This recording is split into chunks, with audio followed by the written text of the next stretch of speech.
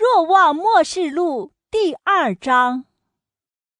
你给恶福所教会的天使写，那右手握着七颗星，而在那七盏金灯台当中行走的，这样说：我知道你的作为，你的苦劳和你的坚忍，也知道你不能容忍恶人，并且你也曾查验出那些自称为宗徒而实非宗徒的人，发现他们是撒谎的人，也知道你有坚忍，为了我的名字受了苦而毫不厌倦。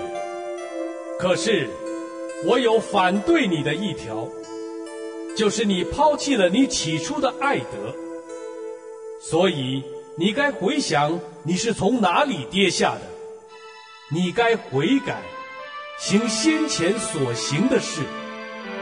若你不悔改，我就要淋于你，把你的灯台从原处挪去。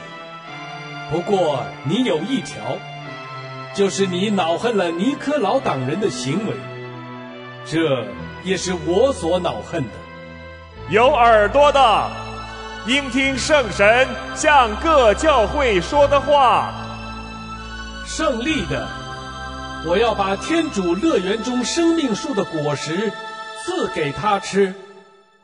你给斯米纳教会的天使写，那身为原始和终末，曾死过而复生的，这样说：我知道你的困苦和贫穷，其实你是富足的；也知道你由那些自称为犹太人的人受的诽谤，其实他们不是犹太人，而是撒旦的贵重。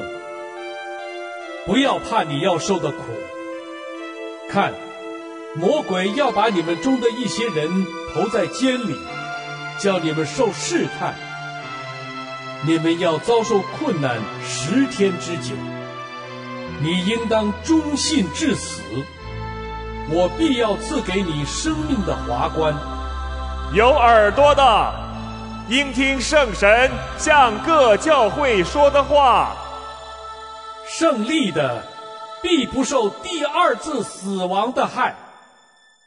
你给培尔加摩教会的天使写，那持有双刃利剑的，这样说：我知道你居住的地方，在那里有撒旦的宝座。当我忠信的见证安提帕在你们中间，即在撒旦居住的地方被杀的时日。你仍坚持了我的名字，从未否认对我的信仰。可是，我有反对你的几条，就是在你们那里，你容忍了一些坚持巴郎教训的人。巴郎曾教巴拉克在以色列子民前安放了绊脚石，叫他们吃祭肉，行邪淫。同样。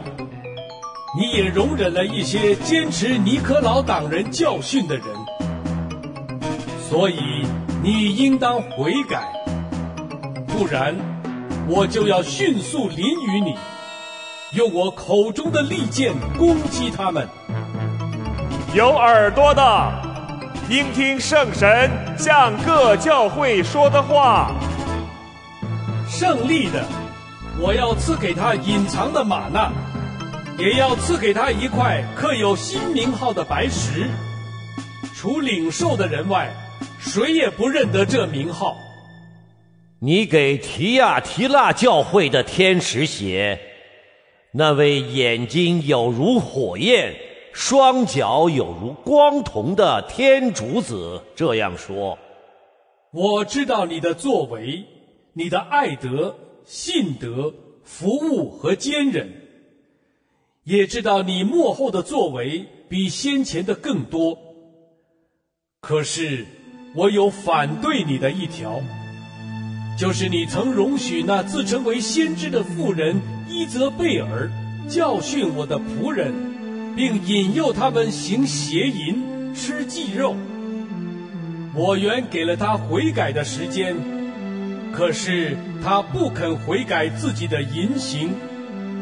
看，我要把他投在病床上，并且把那些与他行邪淫的人，若他们对他的恶行不予以悔改，也投到重大的困苦中，并将他的子女置于死地。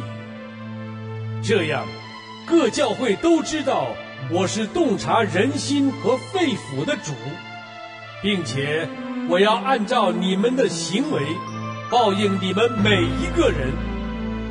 至于你们其余的提亚提腊人，凡不随从这种教训，不认识那所谓撒旦奥义的人，我对你们说，我不再把别的重担加在你们身上。可是你们应该坚持已有的，直到我来。胜利的，并且到最末坚守我事业的人，我必赐给他治理万民的权柄。他将用铁杖管辖他们，有如打碎瓦器，正如我由我父所领受的权柄一样。我还要赐给他那颗晨星。有耳朵的，应听圣神向各教会说的话。